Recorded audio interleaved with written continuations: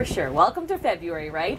And welcome to the Weather Network. Rachel and Christina here with you. And Christina, here's the positive side of Sunday so much sunshine. I mean, that is fantastic considering that the Atlantic has seen so much active weather. Lots of activity Yes, there. For sure. So beautiful. Well, that is in Ontario. So let's get into the system that's approaching. Oh my goodness. Okay, so it's going to be a cold weekend, Mm-hmm. prepping for Oscar Sunday. We can also see that there is that possibility of that mixture Mm-hmm. of rain. So want to be aware of that through Niagara Falls and perhaps even up towards Kingston. Yeah, you got that. But I think, Christina, I'm hoping the timing holds on this. It should be all out of the way into the Monday morning commute because a system into the Monday morning commute certainly makes it feel like a Monday, doesn't it? Absolutely. I have a feeling that system's heading on east on Monday. Oh, it is. So here's a look at some of the snow here. Five centimeters for Toronto. Montreal and Ottawa, you're going to be holding on to that a little bit longer.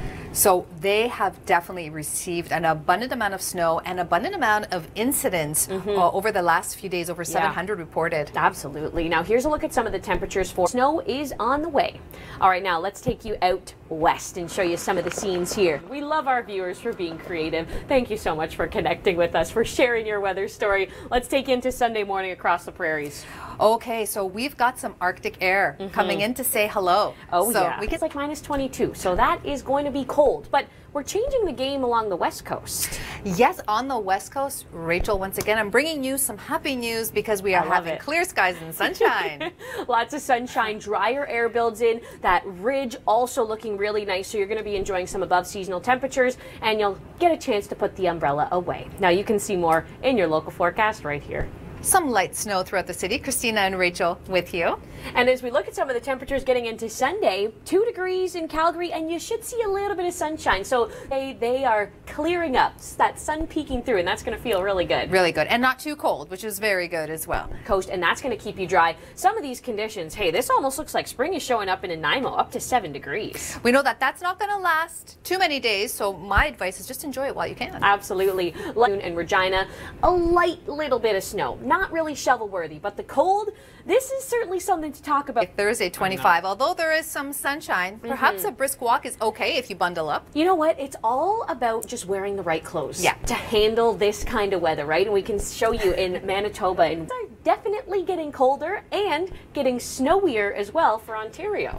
Yes, we are going to be experiencing a little bit more mild temperatures on Sunday, but with that, the system coming in, bringing us some snow. Uh, most amount of snow will be north of Ontario into Ottawa and Montreal. Toronto receiving about five centimeters. All right, we want to turn things over now to Chris St. Clair. He has a look at the world's biggest iceberg. It is on the move, and we were able to capture some video of it. Have a look at this.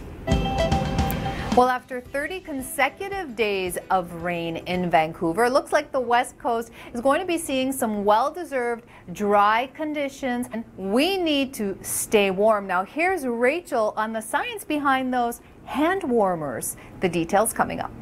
Incidents. Yeah, it was a pretty incredible system that came through. I think a lot of people uh, may have increased the winter fatigue with that Yeah. system, but here is the good news. After over 40 centimeters of snow in the eastern townships, up to 50 in the Gaspé, you've got sunshine for Sunday. Oh, yep. If you're bundled up, Totally. You just got to dress right for it. And we're going to see the same kind of story within Atlantic Canada, too. Minus nine in Charlottetown, minus seven in Truro and St. John's as well. But you're right. If you dress right, Right. winter is not harsh. Winter is not hard to get through. You just got to have the right gear. absolutely. And take those breaks before the next systems come in, like in the Atlantic. There's a hint for you there. And it does continue through the overnight. Right. So come Oscar Sunday, we are looking at some snow. Southern Ontario looking at about five centimeters in Toronto. But Rachel, like you mentioned earlier, look at this. It looks like we may be getting a mix. Yeah, and that's a hint that temperatures are warming up a little. Into Ottawa and Montreal. Yeah, 5 to 10 centimeters. So not too much with this system. Montreal 5 to 10 as well.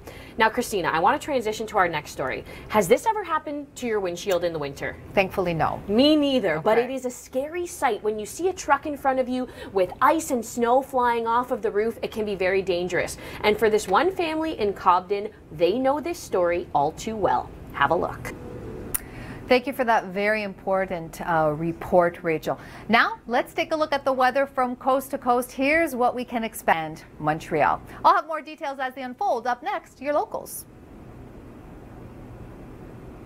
Hey good to see you. We are a week through February, and Christina, boy, that was a cold Saturday. You know it's cold when it looks like you're wearing oven mitts outside. Yeah, in order to keep those hands nice and warm, and you may have to do that on Sunday morning. Christina, one thing I love about the snow is getting out with my dog. This was Saturday with my puppy Sunny. She absolutely loves the snowfall. She she just embraces the season so well. Oh, that's so nice to hear. But something really important to hear about is how do we take care of mm-hmm. these little pups during these winter months? Yeah, there is a special way to do it, and Mark Robinson has all the details.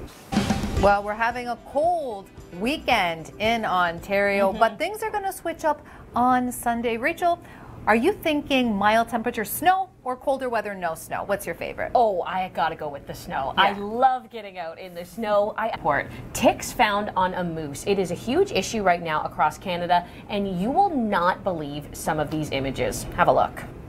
Well, one of our top trending stories online is the world's largest iceberg. This iceberg is larger than Prince Edward Island, weighing over a trillion tons. It is truly amazing, and this is one of our most popular stories online at theweathernetwork.com. Can you even imagine what that would look like in open waters? I cannot, but I can't wait to hear more. It is pretty amazing, so you can check it out and read the full story and where it's headed today.